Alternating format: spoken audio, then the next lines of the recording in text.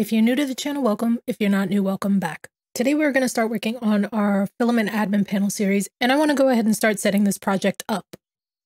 Because I have Laravel installed globally, I'm just going to go ahead and do Laravel new. I'm going to call it coders filament admin panel. We are going to go ahead and add the jet flags. What this will do is it'll give us options as to whether or not we want to use Livewire or if we want to use Inertia. So I'm going to go ahead and use Livewire. And will we be using Teams? No, we will not.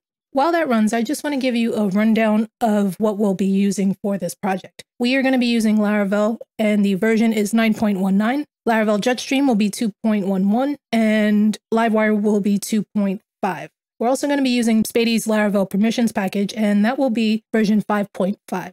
Now everything else, we're going to be using Tailwind and we are using the version of v3.0.0. Now the reason I'm giving you all that information is because, well, let's say two, three months, one of these versions change and therefore you try to follow along with this project and you realize, hey, something's not working. I want you to know exactly which versions of which things that we are using so that you'll be able to debug your code and decide if you want to change a version or upgrade something or really just bring it up to the level that you need to be to have the functionality the same. So this way you can go and look for if a function changes or anything like that, you can go ahead and find the documentation for the version and then just fix it the way it needs to be fixed in order for it to be able to work correctly. This is only an admin panel series that we're going to be working on. I have several admin panel series on my channel and I wanted to add another to be a resource for you to look at how things work and see what you might want to use, what you might not want to use. I am not doing any specialized functionalities for any particular project. This is just going to handle the roles and permissions aspect to the admin panel. You'll be able to connect it to a project where you find it suitable. If you do want to see how we add an admin panel to a project, I have two videos that I did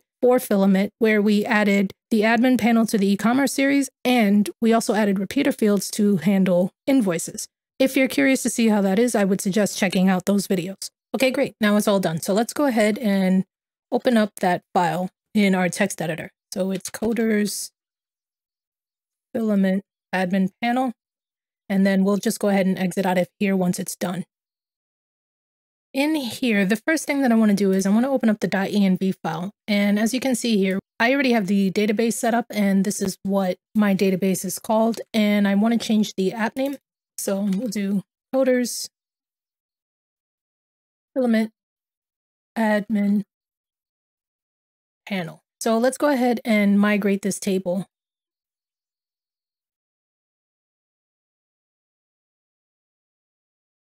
So everything is all set up. So now we can go ahead and I'm going to open up another one. And here I'm going to start our server. So we'll have PHP artisan serve.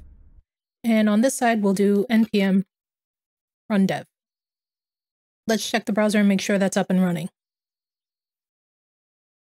Fantastic. We have our Laravel project set up and good to go. Now, if we go ahead and head over to the filament documentation, I will be leaving links in the description and as a pinned comment for everything that we're using today. So don't worry, you'll be able to find it there once the video has been posted. So the first thing that I want to do is I want to check the requirements. First, we need PHP 8.0 or higher, Laravel version 8.0 or higher, Livewire 2.0 or higher. And we've already checked that once we set up the project. What we can do is go ahead and install Filament. And then I'll open up another terminal. Go ahead, paste that in. We'll go ahead and let it run and install it. Okay, great. So it's been installed. The next step is to, if you wanted to automatically upgrade, what you would do is you would put this in your composer.json and it will automatically update whenever the project has been run. I don't want to do that. I find that that's not really something that I would want to do considering I don't want to have this project update on its own because if I don't update any other parts to the project or any other packages that we're using, then it makes no sense for it to update on its own if I don't know if it'll be compatible or not. Okay, so that's why I'm not going to run this command right here. But we can go ahead and also make a user.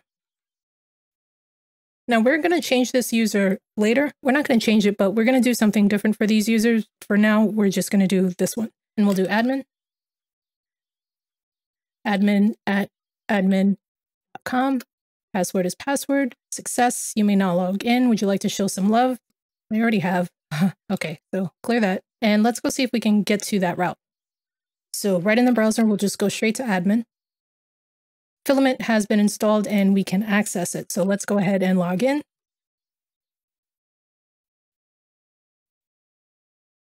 Okay, so we have the bare bones all set up and we will change all of this later. But as you can see, this is the dashboard. This is the only link that we have. And this will take you back to the welcome route. And if you go over here, you see that we have a dropdown with our admin name, and we also have a sign out button, which we can access. And there is a footer down here as well. The next step would be to something that we can do is publish the config file. So if we need to change parts of the config, we can. We'll have access to that right here. Let's just continue installing everything that we'll need. Something we can do too is publish the translations. I know someone was asking me about these. I'm going to go ahead and do them to show you how they are done. So first, let's go ahead to the config file and let's take a look and see what we have. The first thing that we have here is the path, and that was that admin route that we just hit. So it's basically pulling it from the env file. But if you wanted to change the route, you could do so here. So if you wanted it to just be there, then you could do that as well. The core path, the core path is filament. The domain, again, environment variables that you can change at any time. The brand is the app name. That's from our .env file. We also have a guard, which is the filament auth guard. And here's the login page. That's the one that we already just used when we logged in.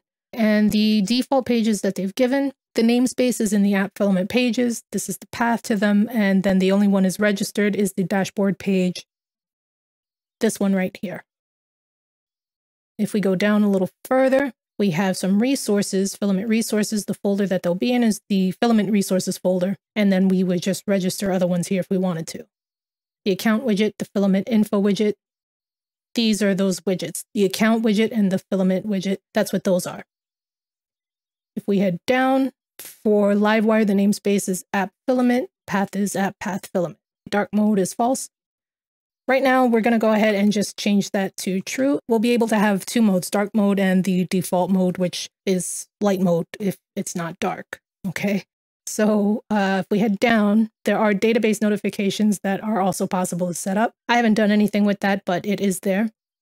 Broadcasting, you can also broadcast some things. So I guess if you have a notification and you wanted to broadcast it to any one of these channels, you would be able to. And the layout. Our layout has action, modal, actions, alignment left.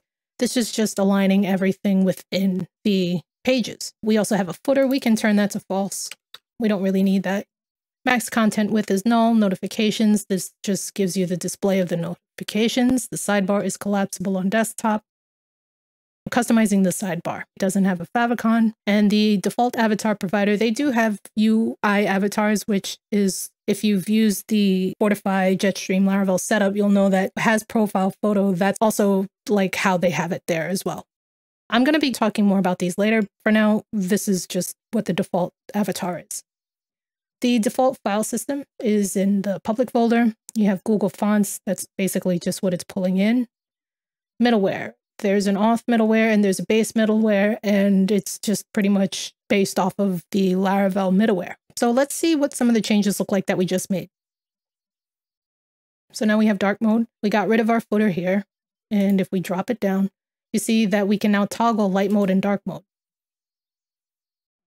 That's easy functionality set up right for us out of the box. So now we have somewhat of a skeleton to work with. If you're enjoying the content, please go ahead and click that like button as it really does help out the channel. Here's a video YouTube thinks you'll like, and here's a playlist to follow along. Thanks for watching. I'll see you next time.